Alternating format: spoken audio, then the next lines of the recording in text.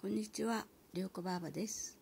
今回はですね、えーお花を編んでペンダントにしたんですけども、まあ、このお花はあの6枚の花びらのぷっくりとしたね花びらのお花を編んでつけたんですけど裏はえウッドリングですねウッドリングを活用してもうお花と葉っぱをね編んでただもうボンドでねペタペタ貼り付けて仕上げたペンダントです。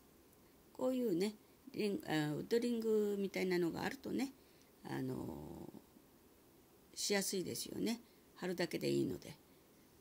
で、えーこの白いお花なんですけどね。白いお花はあのレース糸で編んでいるんですけども、えーレース糸の右側が30番左側が20番のレース糸で編んでいます。でぷっくりねさせるので中長編みの未完成をね一つの細編みの中に、えー未完成をだいたい6回入れてぷっくりしたね花びらを作るんですけどどうしても20番の糸の方がちょっと太み糸がね若干太いので一つの細編みの中に5回しか針を刺されませんでした。どうしてもね6回しようと思ったんですけどちょっと無理でしたね。で、えー大きさ的にはですね一つのお花でだいたい2センチですね。レースレース糸30番の方もだいたい2センチなんですけど若干ね若干ちっちゃいかなというぐらいです。で黄色いお花もねだいたい2センチくらいのあのお花です。今からね編むんですけども、えーこの巻いたねコットン糸です。巻き数が多いからねあのたくさんね編めるのでこれをちょっと買ってたんですけどやっぱり黄色っぽいのでひまわりをねいつも編む時にこの黄色いね糸で編むんですけども今回もねちっちゃいぷっくりしたお花で、えーウッドビウッドビーズじゃないですね。ウッドリングに貼り付けてこうお花自体はねリングなんですけどちょっとひまわりをねイメージして作ってみました。夏場にはねいいかなと思っておはあの葉っぱもねグリーン色の同じ糸があったので葉っぱも編んでお花を 6, 6個かなお花を6個編んでつけましたね。中にはね茶系のビーズ茶系のビーズをボンドでつけました。やっぱりビーズの茶色があるとねひまわりっぽく見えるかなと思ったんでつけてみました。で輪の中にですね細編みを6目編んで閉じて鎖編みをね2目してから根元に中長の未完成を1回して1回2回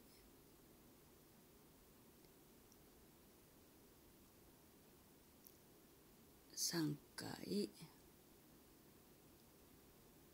4回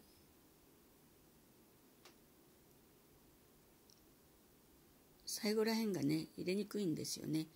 だから最初の目だけ最初の花びらだけはあの刺す、え根元の目がねちょっとちっちゃいのでだいたい6回ですね。中長の未完成を編むんですけど最初だけは5回にしました。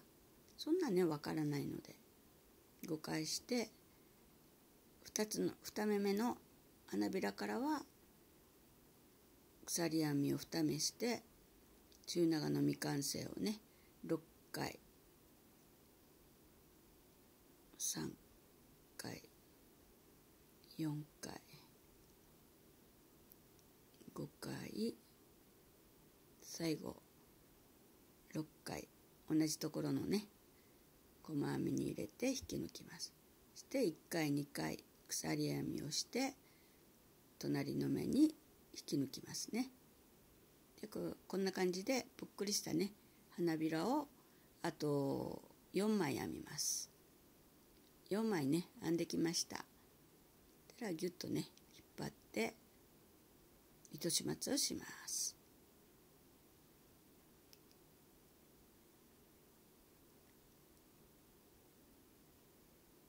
編み始めの糸はねそんなもうぐっと絞ってボンドボンドボンドをねつけるからその場でカットしてもいいんですけどまあいつもの習慣でちょっとだけ糸をすくってね糸始末をします。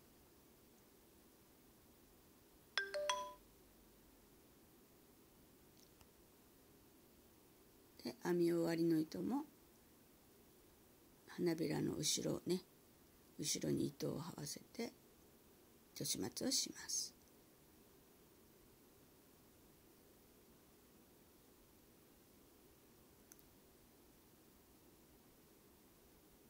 こんな感じでね一つの花びらができましたで今ねビーズなんですけどこれ丸大ビーズなんですよねまあね穴が開いてるんですけど穴が開いてるところをなるだけ上向きしないでビーズを立てた感じでボンドでつけます。で葉っぱもねあのお花に合わせて大きさをね編むんですけどまあね最初の鎖編みの数をね花の大きさにお花の大きさに合わせてねあの作り目をしますね。同じ糸のあのグリーン色緑色で編みます。で今から鎖編みをね編みますね。鎖編みを9目編みます。1 2 3 4 5 6 7 8 9目9目編んだら隣の目に針を入れて引き抜きます。いつものね葉っぱの編み方です。で次が細編み。次が中長編み。で次が長編み。隣も長編み。隣が中長ですね。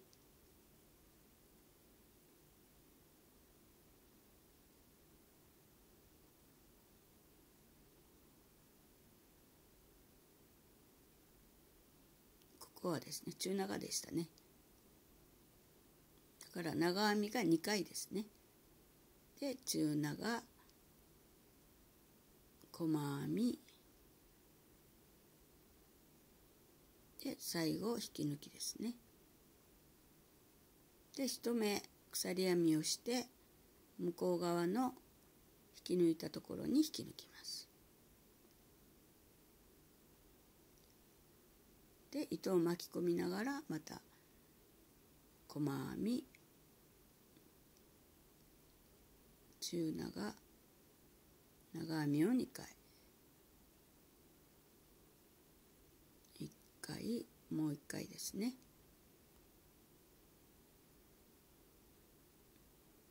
で中長。細編み。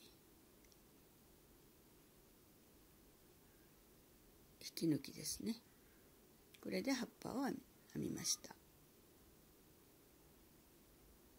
葉っぱの数もね今回は2個しかつけてないんですけど何箇所かねこう放射状につけられてもいいと思いますね。で巻き込んだ糸を先に糸処理します。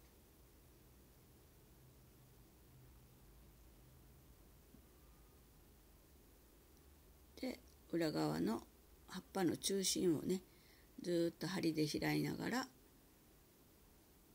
糸始末をしていきます。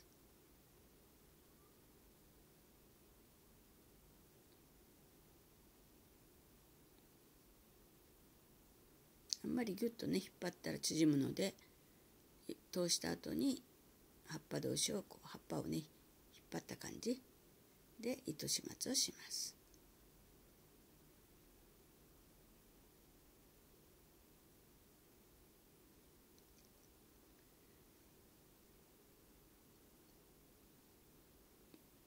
これはねもうこれも中心をこう上の方に針を入れて引き抜くだけでいいと思います。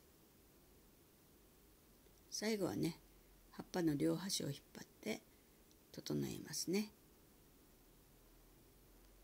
こんな感じで葉っぱを作りました。今回は2枚だけですけどね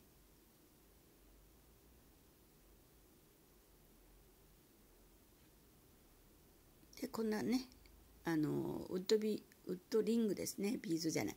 ウッドリングにもうただあの先にこのねスウェード調の紐をつけてから、えー、葉っぱをね葉っぱをボンドで固定しますね。こんな感じで葉っぱの裏側にボンドつけて両方ねボンドを葉っぱにつけて固定した後に花びらをね花お花をね今回お花を 6, 6個？ちょうどもう6個が限度ですね。5個か6個か。5個ですとね重なりあんまり重なり合わないんですけども6個なのでちょっと重なってますね。でレングの幅がだいたい3センチですね。3センチだったと思います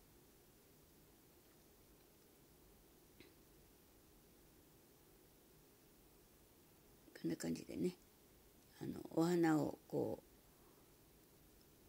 う5個つけたり5個の時はね先ほど言ったように重なりがちょっと少ないですよね。